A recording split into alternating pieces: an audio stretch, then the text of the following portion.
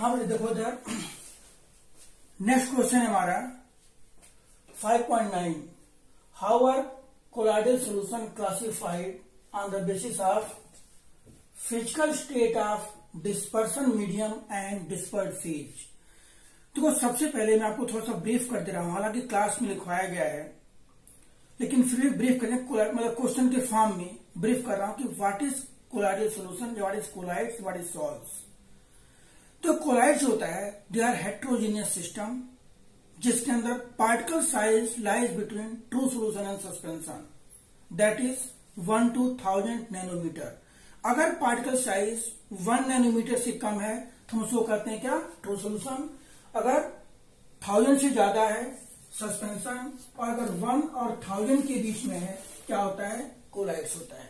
ठीक है? देखिए, जैसे मान लें यहाँ पर क्या ये? पार्टिकल साइज़ ये। अगर वन नैनोमीटर से कम है लेस देन वन नैनोमीटर यहाँ पर क्या है? मोर देन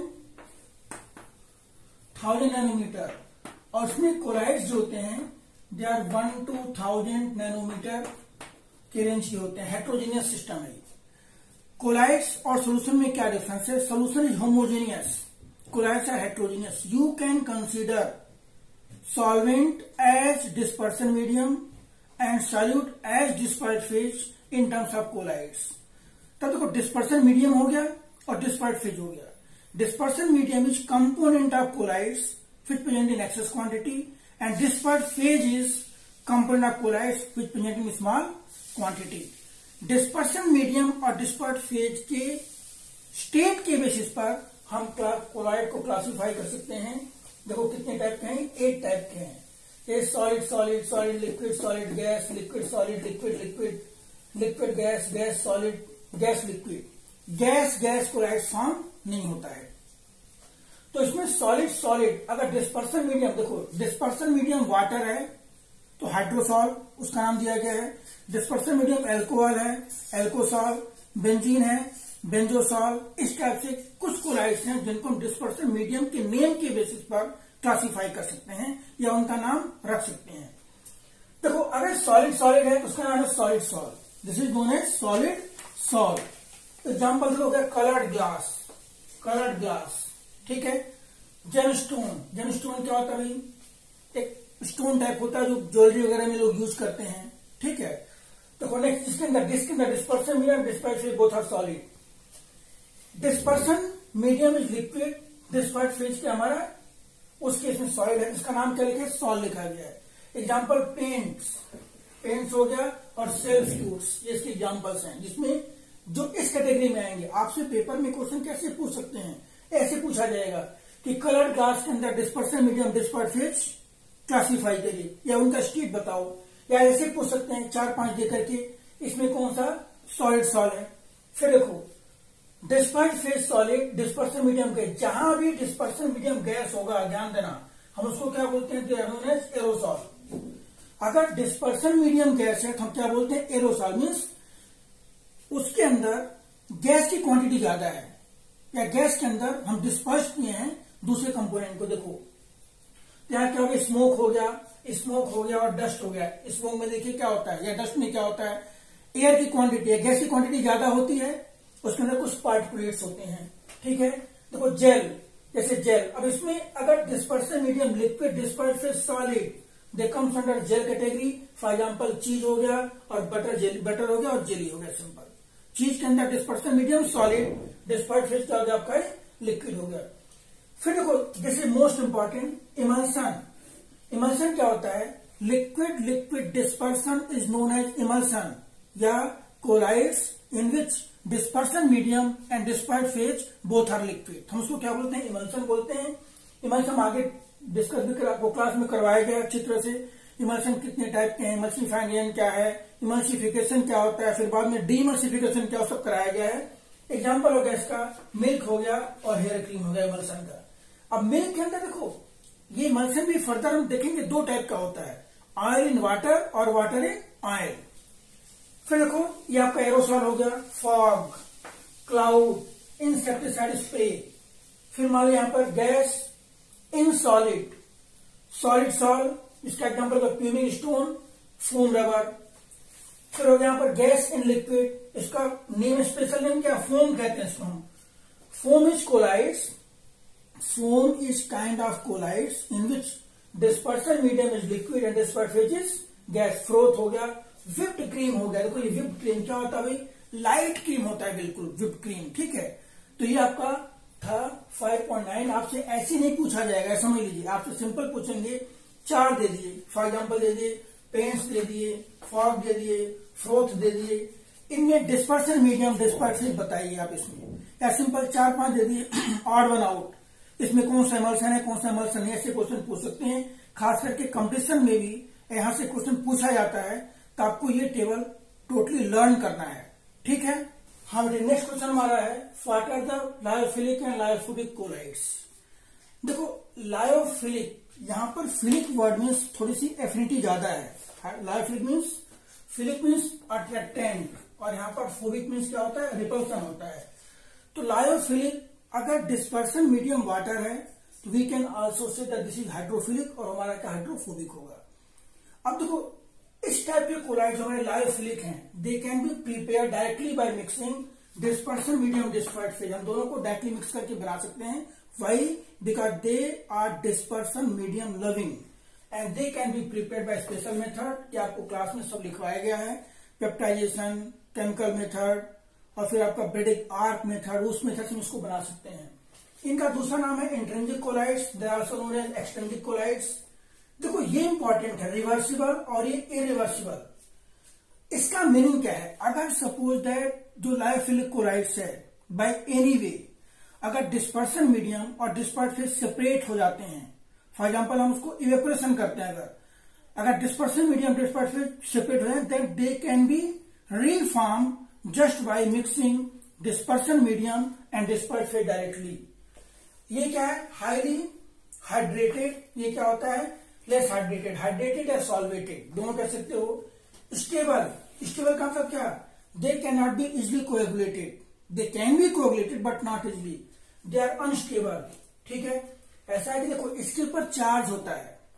तो जैसे में इलेक्ट्रोलाइट डालते हैं, वो चार्ज डिस्पर्स हो जाता है and molecule come closer and they get separated basically in the form of dispersion medium dispersed field यहाँ पर स्टेबल क्यों होते हैं? इनके ऊपर चार्ज भी होता है and there highly hydrated stability का रीजन दो है। Charge as well as hydration यहाँ पर ओनली चार्ज देखो, इसके बाद इनकी जो विस्कॉसिटी होती है this type of colloids has viscosity more than dispersion medium और इनका जो सरफेस टेंशन होता है डिस्पर्सन मीडियम से कम होता है। यहाँ पर जो सरफेस टेंशन होता है that is more than dispersion medium and viscosity is almost nearly equal to dispersion medium इनका example gum starch rubber gelatin ये इसके एग्जाम्पल्स हैं। यहाँ पर इसके एग्जाम्पल्स हैं मेटल एंड देयर सल्फाइड्स ठीक है? तो आपका हो गया। ये पूरा इसका लोग देखना एक दो बार देख करके, और फिर क्या करते हैं इसको आप लिख भी सकते हो और लर्न भी कर सकते हो। अब नेक्स्ट क्वेश्चन हमारा है is difference between multi molecular micromolecular and associated colloids देखो ऐसा कि अभी हमने डिस्कस किया था या नोट्स में लिखवाया गया है। कोलाइडियल पार्टिकल का साइज़ क्या होता है? One to thousand nanometer one to thousand nanometer heterogeneous system is known as colloids देखो, कुछ सब्सटेंस ऐसे होते हैं जिनका पार्टिकल साइज़ क्या होता है? लेस देन वन नैनोमीटर कुछ होते हैं इनका क्या होता है? More than thousand nanometer this type of substance come in to this range by the process of association aggregation, combination means smaller size molecules combined and come into colloidal range. अब उसको बोलते हैं मल्टी मालिकुलर ये क्या होता है? They dissociate and come into this range this is known as micro molecular colloids अब समझो यहाँ पर। अब अगर लिखना आपको डिफरेंट लिखना, मान लो मल्टी मालिकुलर माइक्रो मालिकुलर और एसोसिएटेड में अगर आपको डिफरेंट लिखना क्या लिखोगे? Colloids which is obtained by aggregation of molecule whose size is less than 1 nanometer and come into colloidal range is called multi-molecular colloids. यहाँ क्या it is obtained by dissociation of molecule whose size is more than 1000 nanometer and come into colloidal range अब इसमें क्या they are held by weak van force of attraction weak force और example क्या होगा इसका? इसका एग्ज़ाम्पल हो गया, मान लो पी फोर हो गया एसिड हो गया। The example of multi molecular colloids यहाँ पर क्या है? They are held by strong intermolecular force of attraction इसका एग्ज़ाम्पल हो गया different polymers nylon starch cellulose ये हमारे क्या है?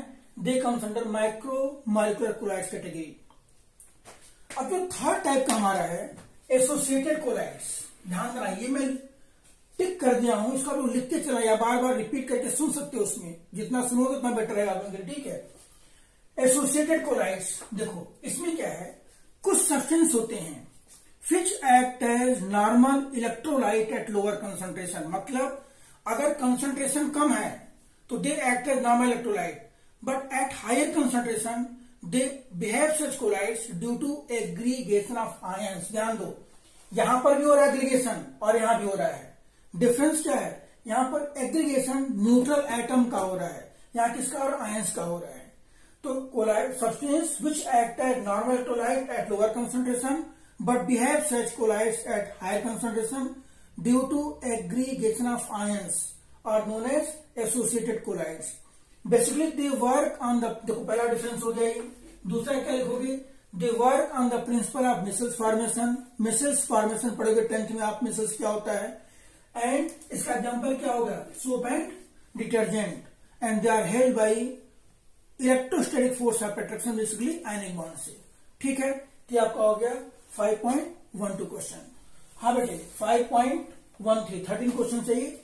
Are enzymes write its brief mechanism देखो, ऐसा है. Enzymes are biocatalyst which catalyze biochemical reaction. Which catalyze biochemical reaction? Generally, they are nitrogenous compound. आप ये कह सकते हो example invertase maltase zymase urease diastase trypsin ये सारे हमारे क्या एंजाइम्स के एग्जाम्पल्स हैं बायोकैटलिस्ट हैं, जो बायोकेमिकल एक्शन को कैटलाइज करते हैं। एज फार एज देखो मैकेनिज्म इज़ कंसर्न हम ऐसे लिखते हैं this enzyme combine with substrate and form यहाँ लिखोगे enzyme substrate intermediate which on dissociation form enzyme plus product basically mechanism of enzyme works on lock and key model ये जो reaction होता है ना, ये क्या होता है? Reversible and fast this reaction है रिवर्सिबल एंड फास्ट और यहाँ से यहाँ तक जो होता है this is slow and rate determining and rate determining step होता है, ठीक है? क्लियर अब लॉक एंड की मॉडल है आपको हाइपोथेटिकल एग्जांपल लेके डायग्राम लेके समझा रहा हूँ। देखो फॉर एग्जांपल किसी एंजाइम है भी। ये एंजाइम किसी सबस्ट्रेट से कंबाइन करेगा इस टाइप से। एंजाइम प्लस सबस्ट्रेट फॉर्म होगा, जल्दी फॉर्म करेगा। Enzyme substrate intermediate which on dissociation produce enzyme plus which on dissociation produce enzyme plus product मान लो, कुछ ऐसे करके दिया प्रोडक्ट सिंपल तो this is mechanism of enzyme catalysis हाँ देखो बेटा, ऐसा है। ये इसमें तीन क्वेश्चन में इकट्ठे डिस्कस कर दे रहा हूँ। Five point one five one six one seven one eight sixteen seventeen and eighteen जो कि इमल्सन पर बेस्ड है। तो पहले बता दें कि इमल्सन होता क्या है। Emulsion is colloids emulsion is colloids in which dispersion medium and disperse phase both are liquid both are liquid तो हम कैसे लिखेंगे? Liquid liquid dispersion in known as emulsion emulsion दो टाइप के हैं. ऑयल इन वाटर हम इसको लिखेंगे O W oil in water water के अंदर हम ऑयल को डिस्पर्स कर रहे हैं. Water is dispersion medium oil is disperse phase इसका एग्ज़ाम्पल क्या हो गया आपका? एग्ज़ाम्पल इज़ मिल्क ठीक है? सेकेंड है आपका वाटर इन ऑयल हम ऐसे लिखेंगे यहाँ पर. ऑयल की क्वांटिटी ज़्यादा है वाटर की क्वांटिटी क्या है? कम है। एग्ज़ाम्पल इसका क्या हो गया? क्रीम ठीक है? तो इमल्सन दो टाइप के हो गए। एक होता है इमल्सिफिकेशन इमल्सिफिकेशन देखो। हम इमल्सन को स्टेबलाइज करते हैं। Process of stabilizing emulsion is known as emulsification and the substance which stabilize emulsion is known as emulsifying agent. इनमें इनमें दोनों अलग अलग इमल्सिफाइंग एजेंट्स हैं। क्लियर है? In O oblique W in O oblique W emulsion stabilize by protein gum natural and synthetic soaps and in W oblique O emulsifying agents are long chain soap कह सकते हो long chain alcohol कह सकते हो the emulsifying agents ठीक है? इसके बाद देखो इमल्सन स्टेबलाइज कैसे होता है? ये मान लो डिस्पर्सन मीडियम है, ये आपका डिस्पर्स फ़ेज़ है। तो डिस्पर्सन मीडियम और डिस्पर्स फ़ेज़ को एक इमल्सिफाइंग एजेंट होता है, उनके बीच में आकर के interfacial layer